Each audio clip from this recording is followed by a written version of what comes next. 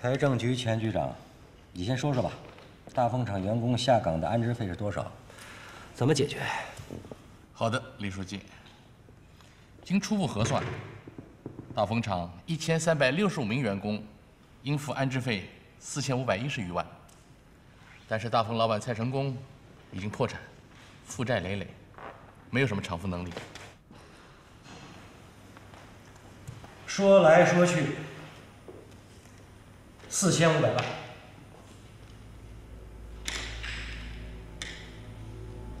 蔡成功破产了，还不上；山水集团不富，怎么办？解决不了了吗？大风厂不拆迁了吗？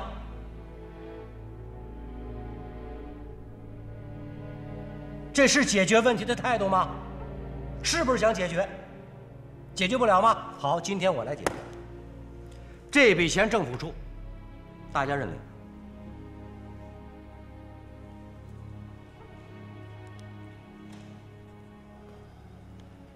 就这事儿一开始吧，从荆州城市银行到这个山水集团，这他们就是勾结在一起，合伙整垮了我们大丰富士集团。他们到底是些什么人？有什么动机？怎么就把你们给搞垮了？具体说说。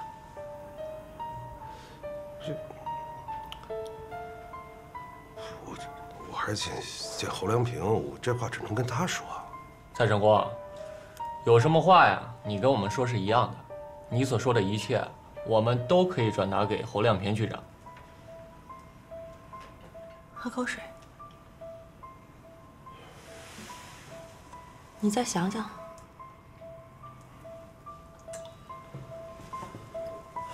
别动，放下。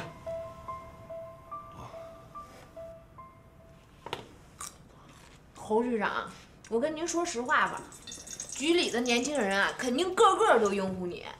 你一说你来了，不用加班了，你都不知道给我们激动的呀！我当时眼泪水都快掉下来了。你们泪点也太低了吧！把肉丝给我拿来。不是，主要是我们真的都被加班给耽误了。比如说我吧，啊，我林华华，要不是因为经常多加班，和社会接触少，我能看得上周正那小气鬼？你就知足吧，一个只会煮方便面的女生还嫌弃周正。哎，我说华华，这你家肉丝长这样，快快快！我以为你要带鱼呢。快快快，这快焦了。啊！孙连成，你说说，认领多少？李书记，你定，你说出多少就是多少。屁！我让你全出，你出吗？你要是全出的话，今天这会就不开了。要是都是我们出了，那还要他们干什么？财政、维稳，你们这两块出大头，余下的小头呢，我们区里出。李书记，我不是叫苦，这个区里边实在是没有地可卖了，能卖的都让丁义珍卖完了。我们现在是勒紧裤腰带过日子，这马上发工资都够呛了。你那意思，我再给你补点什么？这市里边要是能补更好了。不是我，我也没敢指望谁。明白就行。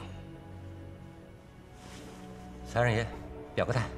李书记，市财政先想法挤个一千五百万吧。两千万。哎，李书记，这公安的维稳基金能出多少？不是李书记，我们这山水集团发财，我们不但维稳，你再让我们掏钱啊？一千万。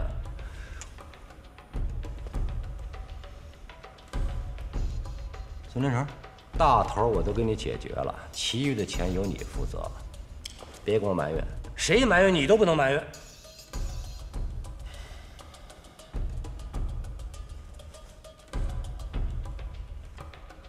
这笔钱，给大家一个星期的期限，钱不到位，主动辞职。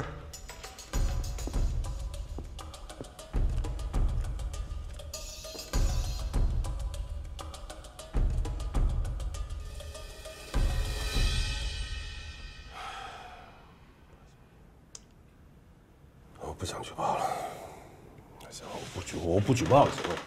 蔡成功，你拿我们开玩笑呢？什么叫拿你们开玩笑啊？我不想举报了。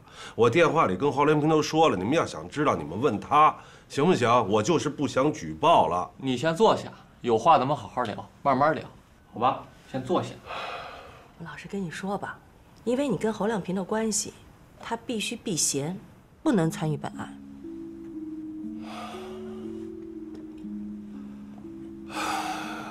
睡觉吧？我这几天跟市局的人打游击战，东躲西藏的，我就没睡好觉，我困了。我睡觉的权利总有吧？好，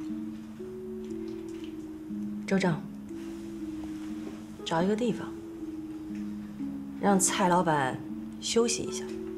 谢啊。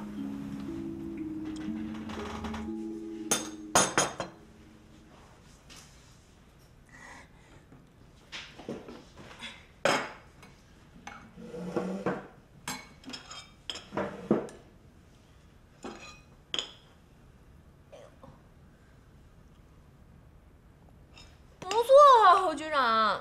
好吃吧？嗯，我拿手菜还没做呢。我的饭呢？嗯 我给忘了。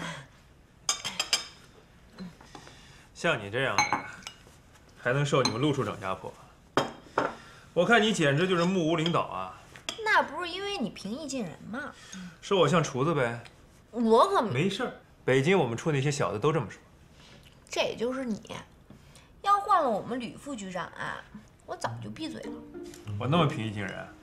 不是你平不平易近人的问题，是你不变态呀。我们吕副局长变态，胡说八道什么呢？说说，吕副局长怎么变态了？我还是别说了。说啊，我正好了解一下情况嘛。那我真说了啊，嗯，他那是真变态呀。我们陆处长让我们加班吧，那是没办法。他不一样啊，明明可以工作八小时就能完成的活儿，他非得拖成十二个小时，就是为了给老纪和老林那帮领导看见我们反贪局天天加班，这检察院大楼的灯全都灭了，只有我们反贪局的灯还亮着。我们就在那儿感叹啊，吕副局长，吕副局长，你真是黑暗中的指路明灯啊！你就夸张吧，学中文的吧？你怎么知道？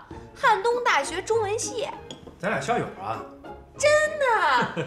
那你得多关照我。嗯，安置工作完成之后，下一步，大风厂一千三百名职工，起码有八百名职工问题得到解决了吧？是的，李书记，这个真正持有股份的员工呢，不到五百人。五百个人好办。股权问题，走司法程序。该起诉蔡成功的起诉蔡成功，该起诉山水集团的起诉山水集团。法院特案特办，尽快立案，尽快审理，尽快结案。王院长，这可是你的事儿。好的，李书记，我们一定依法办事，在法律允许的范围内，从快审理，从快判决。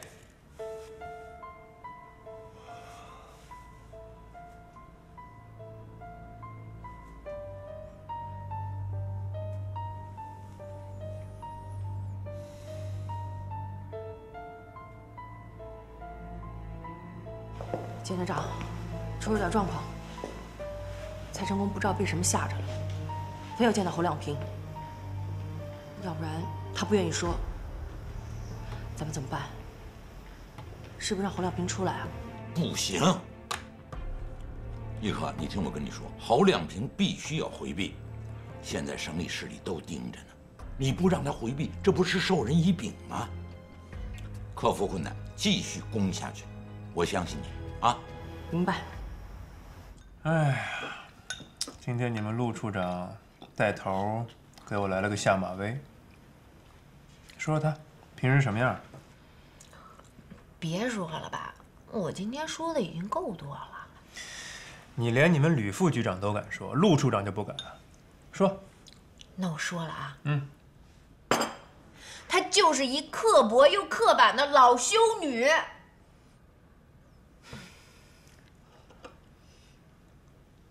我发现你评价领导挺毒舌的。我这实话实说呀。哎，不过咱有一说一，有二说二，这老陆啊，在工作上绝对是一把好手。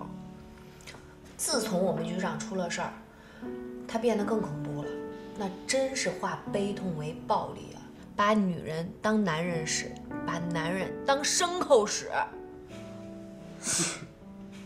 嗨。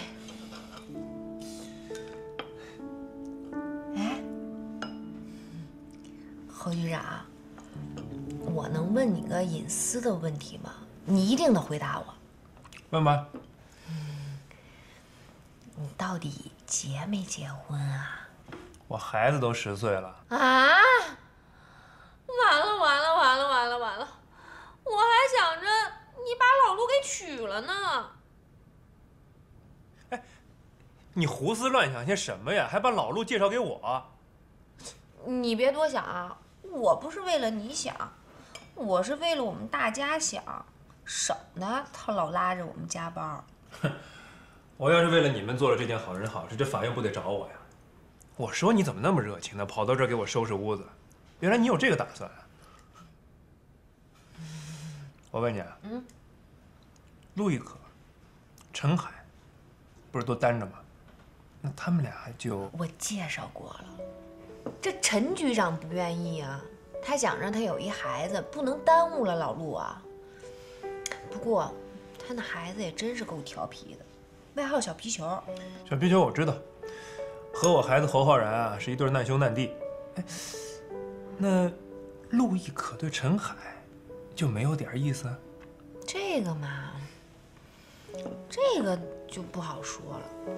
平常吧，他们俩更像哥们儿。主要啊是老陆没有女人味儿。不过，自打陈局出了事儿，对老陆打击挺大的。他今天这么对你，也是怕你抢了我们局长的位置。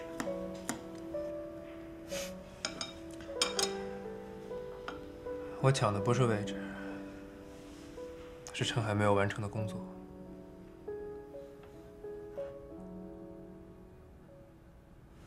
我们大家不要掉以轻心呐。在省委常委会上，沙瑞金书记又一次提到了大风厂跟幺幺六事件，明确指出这是一起腐败引起的恶性案件。我们这里有没有腐败？有没有？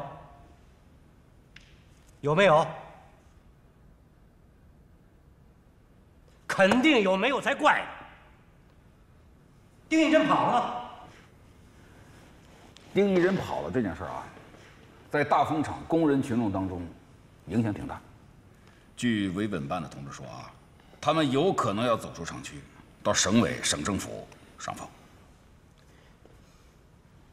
所以我们的时间非常非常的紧迫，各工作组马上进入厂，千万不能让工人走出去。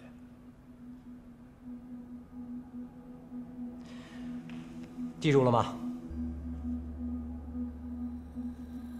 在这里我再强调一下，各路资金必须一个星期到位。是啊，闹出这么大动静，有啥办法？花钱消灾吧。只怕花钱也难买平安啊！这个大风厂除了那面国旗，现在又打出一个新的旗号，那字啊比厂房都大。严惩贪官，还我公道。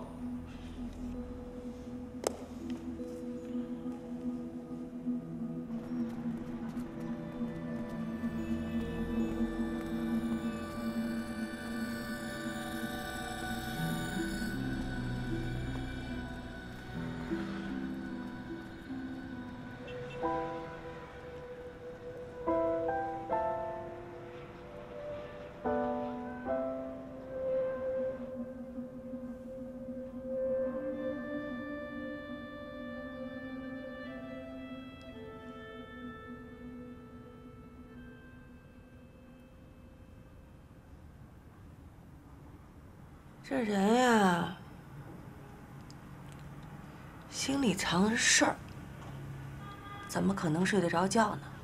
我劝你，还是说出来吧，说出来人就踏实，自然睡得着觉。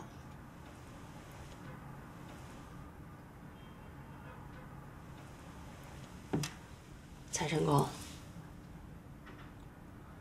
不管你要举报谁，我们都会替你保密的，请你相信我，相信我们汉东检察院反贪局。你们反贪局长都让人开车撞了，你怎么知道的？我们俩通过一个电话，我要向他举报，可惜没能见上面。是谁告诉你他被人撞了？侯良平告诉我的。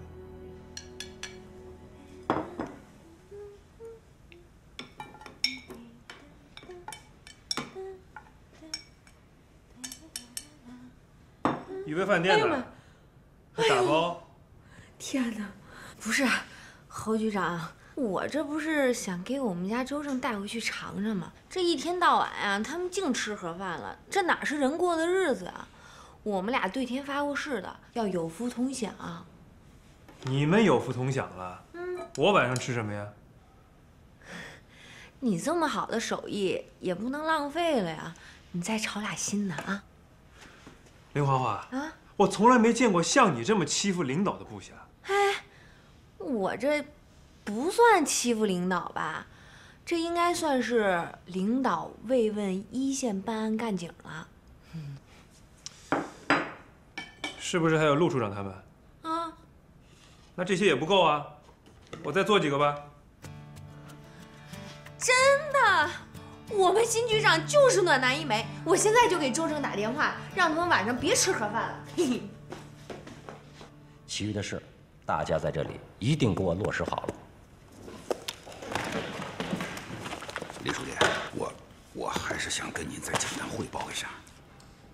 我还有个会，给你五分钟，办公室谈。好。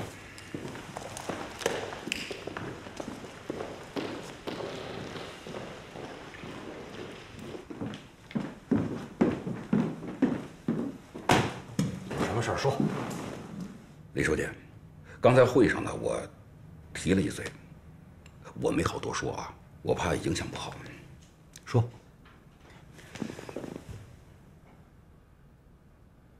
那我真说了啊，说。山水集团的高小琴，他算个什么东西啊？占了大风厂的风水宝地，他赚了好几个亿，他为什么不拿这四千五百万，反倒从我们维稳经费里出？我怎么跟维稳办的同志说？怎么跟我们公安干警交代？如果非让我拿这一千万，行，李书记，那你给我写个条，要不然我我向你跟市委辞职，我没法干了。陆玉可，你就真没有办法了，非要让侯亮平出面？我再跟你重申一遍，他的正式任命文件还没有下来，从组织原则上讲，他要回避。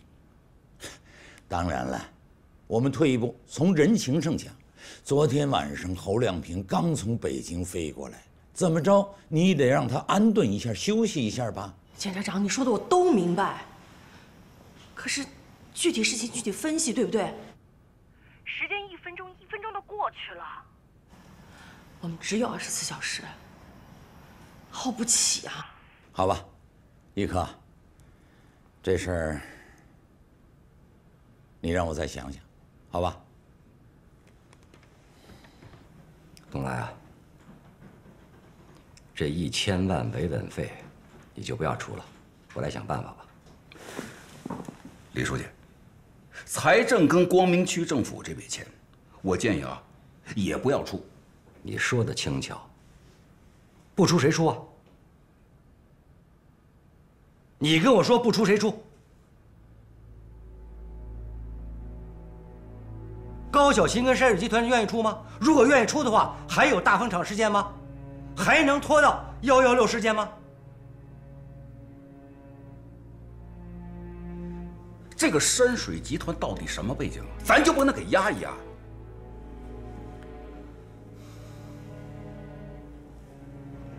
怎么样呀？东来呀，还是要依法办事吧。我现在给大风厂的员工们请了两个援助律师，让他们在法庭上见。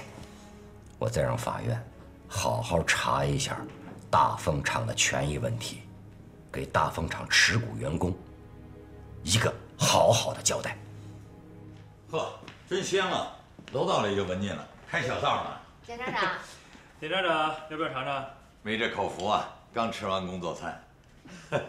亮平，你的手艺啊？那当然了，华华进不了厨房，这我知道。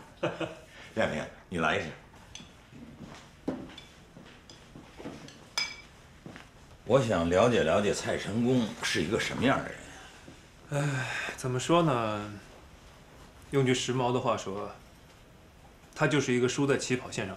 嗯，家境贫困，父母管教严，从小抄别人的作业，好不容易才能混到毕业。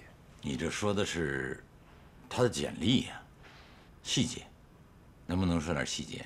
细节往往能够体现出一个人的性格。细节，他学习成绩不好，留了好多级，我们才成的同学。哦，上课爱讲话，老师用胶布贴住他的嘴，让他罚站，他毫不在乎，抽空还冲我们做鬼脸。脸皮够厚的。下课调皮捣蛋，老师经常罚他在办公室抄作业，结果我们还没下课，他翻墙就出去玩。喜欢和高年级的打架，打不过人家，抹别人一身鼻涕。哎不过他爸打起他来可真是厉害，有时候吊在树上打，棍子都能打断，浑身青一块紫一块的。可他就是泼皮，无所谓，到了学校照样调皮捣蛋。你说他泼皮，我看他还有点赖皮。这二皮，是不是就是他的性格特点？没错，他就是个二皮脸。嗯，可谁想到，在经商的道路上，他还闯出一番名堂。他要是拿这股劲儿对付陆亦可，可真够陆亦可受的。哎呀，侯亮平，看来你对你这位发小老同学还是真了解呀。吃完饭了？早吃完了。好，那走。去哪儿？还能去哪儿？省公安厅招待所会会你那位发小老同学。我不是得回避吗？什么都别说了，出了问题由我来负责。走吧。华华，带点东西，跟我们走。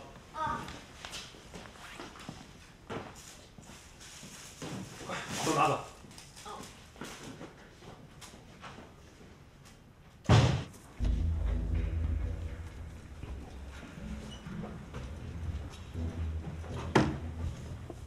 徐检察长，哎胡局长，猴子，哎呦，你终于来了。别猴子猴子的，我是来办公事的，知道吗？哦，对对对，公事公事。哦，那季检察长是吧？啊，你好你好。还没吃饭吧？先吃吧，吃完再说。猴子，你这还是你对我好。这不是在我家，一会儿录像的时候你要叫我猴子就全完蛋了，你给我记住。我我知知知知道知道，我记住了。吃着吃，我炒的菜。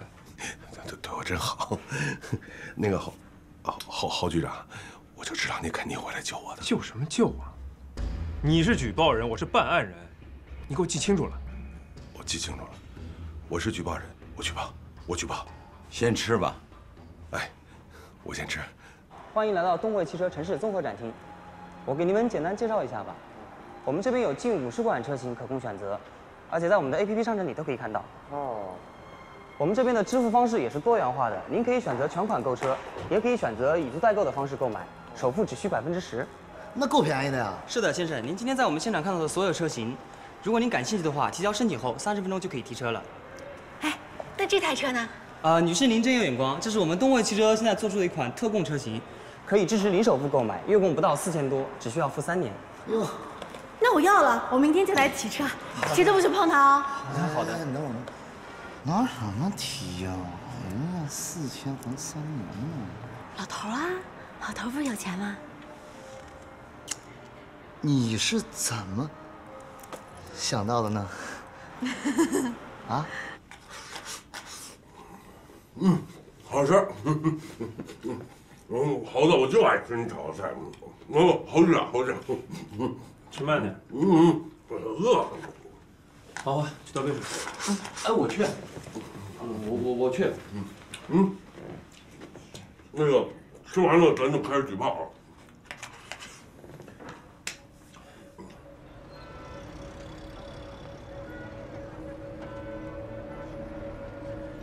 我们大丰集团的垮台，就是因为荆州城市银行的断贷。在这里起决定作用的，就是主管信贷的副行长欧阳靖。每次我从他那拿了贷款，我都给他好处费，一张银行卡。蔡成功，说具体一点，行贿的具体数额、时间还有地点。行贿的具体数额是二百万人民币，呃，我一共，呃，给他送过四次钱，一次五十万，正好二百万。呃，时间是每年的二月底三月初，具体哪天我忘了。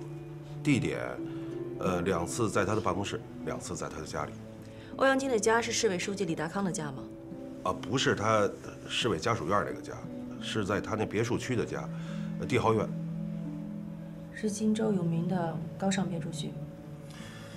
继续说，银行卡用的是谁的名字？我妈的名字，但是我把密码告诉欧阳晶了，她可以凭密码取现或者消费啊。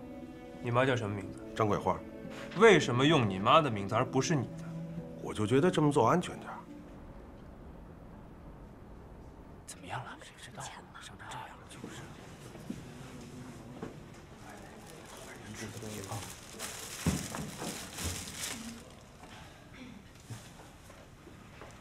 文哥，好好养伤，烦心的事别多想，想也没用。这别说话，别说话。啊，我知道你满脸都是伤，咱不说不说啊，有什么话，把伤养好了再说啊。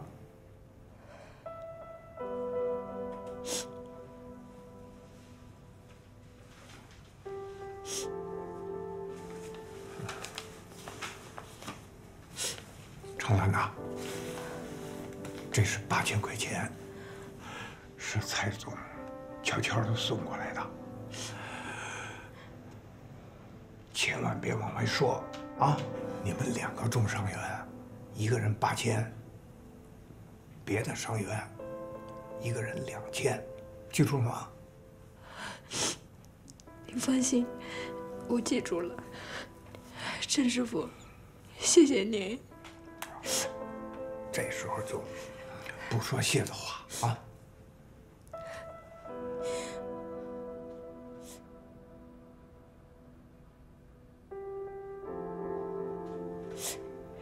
陈师傅，我想求您件事儿。你你说。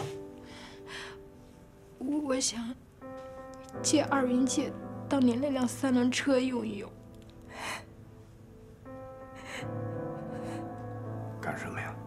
你也想上？生你他妈当年那样，推着三轮车去买早点呢？是。你看，文哥都烧成这样了，我们一家三口又都在大风厂，总得活人呢。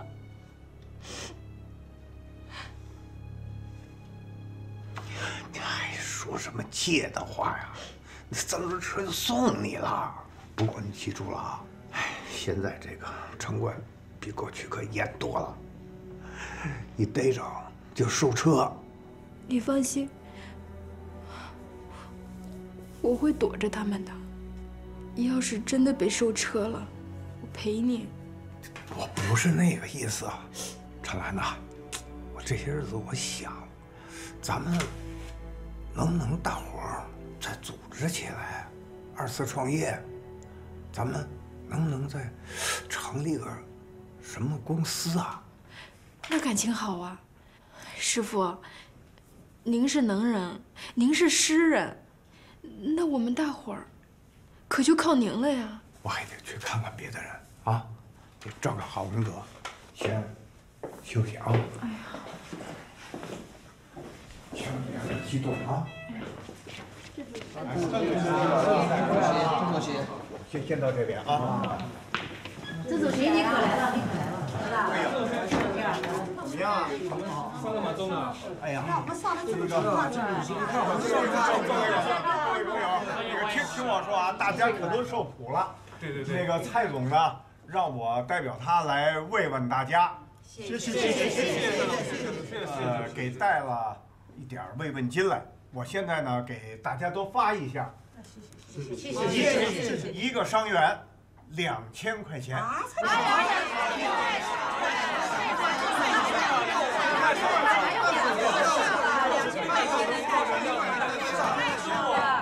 诸位，病人还要休息，麻烦你们有什么事情出去谈，不要吵到病人休息。哎，好好好，来，咱咱们外面说，外面出去，外面说。这新来的省委书记不可小觑啊，他把陈院士请来，为我们上了一课，讲历史，讲传统，讲精神。这说来说去，不动声色的就否掉了前任书记留下来的这批干部。这不是意料之中的事儿吗？新官上任，不都是这一套吗？但我没想到他会用这种方式来否定啊！他还对汉东干部队伍的现状进行了严厉的批评，看来要有大动作了。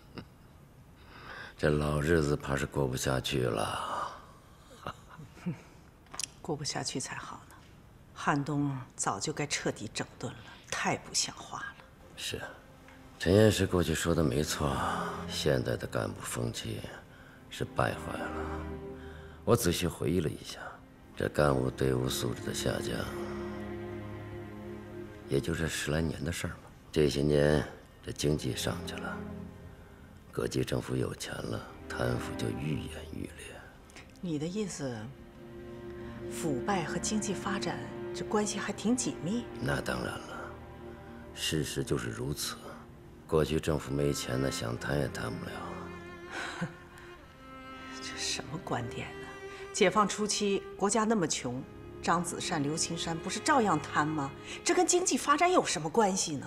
我是说，对贪腐也要历史的看。最初有人提出来，用货币购买权力，把权力撕开一个口子，以发展经济。所以有人就认为，中国这些年的经济高速发展，这贪腐还有一份功劳呢。哼，因为贪腐提高了政府的办事效率，突破了现行制度的某些约束，很多事情可以特事特办了。高老师，你这是谬论。且不说贪腐对人心道德的伤害，长远来说，它也是难以为继的。就像吸毒，吸得越多，死得越快。你这种观点，我当然同意了。人的贪欲一旦打开，想收都收不住。过去啊，是收钱就办事儿，可现在呢，不收了，也不办事儿了，多可怕！怎么得了？那不能因为……喂，啊，童伟啊，你高老师在？好，你过来吧。祁同伟，哎呀，你要让他过来干什么呀？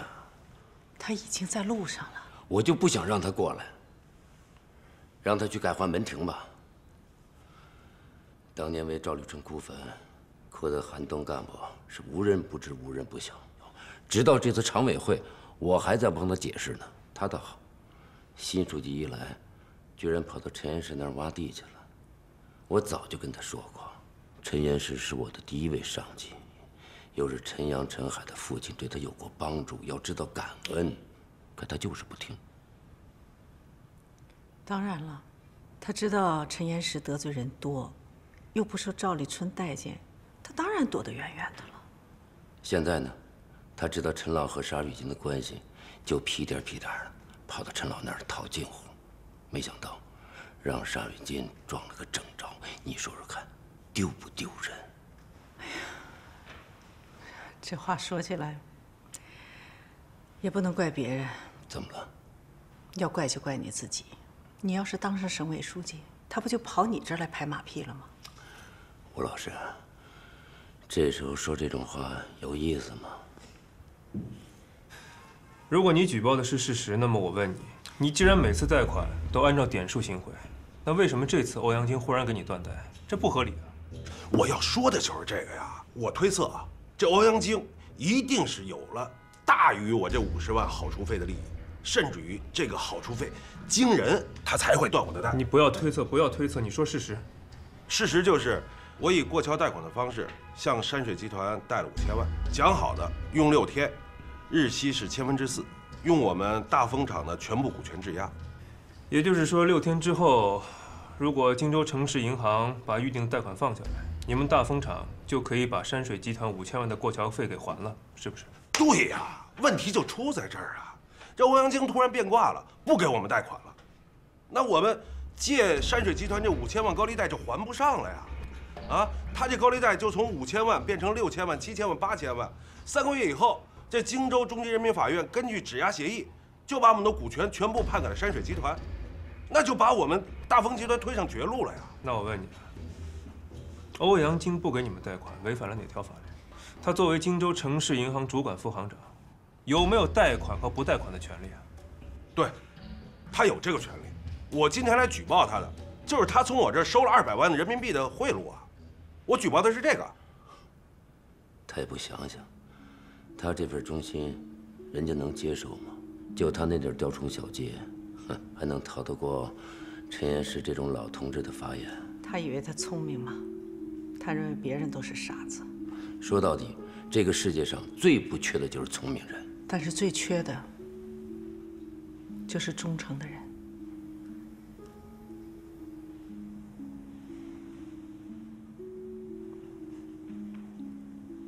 又来了。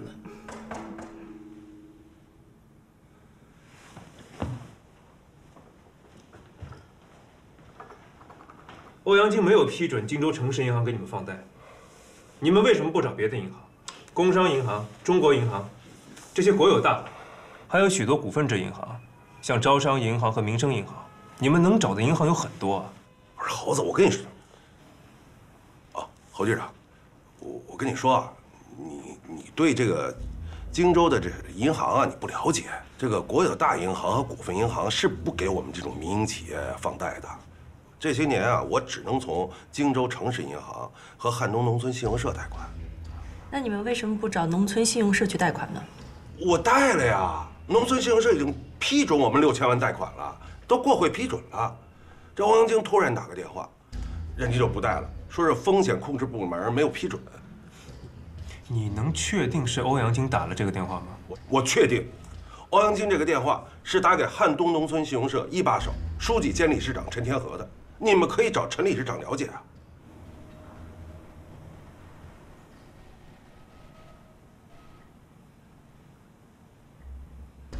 老师，这个新来的沙书记，不会是要搞一个沙家帮吧？什么沙家帮？你在说什么呢？您就别瞒着我了。省委常委会一散，我就都知道了。除了一个外来的侯亮平，本省的干部一个没动，全冻结了。你消息蛮灵通嘛。老师，我要感谢您。在当时那种情况下，您顶着那么大的压力，为了我仗义执言。达康书记过分了吧？我平时小心谨慎，看着他的脸色，我就差把他当爹供着了。他居然在背后来了这么……别说了，还嫌我这老脸丢的不够是吧？侯局长，陆处长，我现在就是认定这欧阳菁是伙同山水集团做局坑我们大丰集团。我这不是推测啊，后来的事实证明，高少勤的山水集团拿了我们公司的股权，就是拿了我们公司这块地。他们知道规划，知道我们公司这块地划为了高档住宅用地。你说的是结果，不代表它是事实。陆处长，让他说，继续。事实就是光明峰大开发的事儿，大家都知道啊，我知道，厂里员工知道，厂里员工都以为开发的以后呢，手上的股权就值钱了。谁也没想到，山水集团会拿我们做局啊！哦，其实啊，这企业之间啊，拆对一些这个贷款，以过桥的方式，呃，来走账，这这很正常，你知道吧？哎，也怪我大意了，是我坑害了我们这这些员工。我刚才还跟你吴老师说起你呢，在学校那会儿你多单纯呢，啊！现在怎么变成这个样子？陈岩师那儿跟你说好了不要去，你还是去了，给人当了花匠。你不用解释，陈老没告诉我什么，也没向沙书记告状，是你自己让沙瑞金同志给撞上了，是吧？你觉得有意思吗？老师，这件事我希望您还是能够理解我。我太想进步了，太想进步了。那你还大喊什么沙家浜啊？你胡说什么呀？哎，你告诉我，你是不是真想有个沙家浜，可以马上投靠入伙啊？老师，您误会了。我误会什么了？我让你不要胡说八道，不利于团结的话千万不要说，尤其涉及到沙书记。一个共产党员要有党性，领导干部要有人格。我告诉你，新书记来的正好，来的正是时候。汉东的党风政风，包括社会风气，是得变一变了。再不变，老百姓得骂娘了。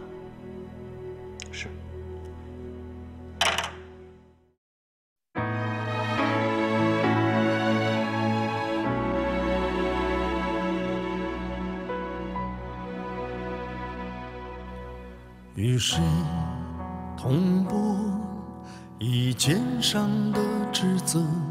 听一番枝繁叶落，看一幕檐下交错。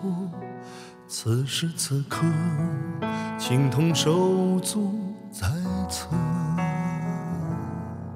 与谁同我，以心中的执着，听一声青梅，繁星闪烁。此时此刻，爱与永续，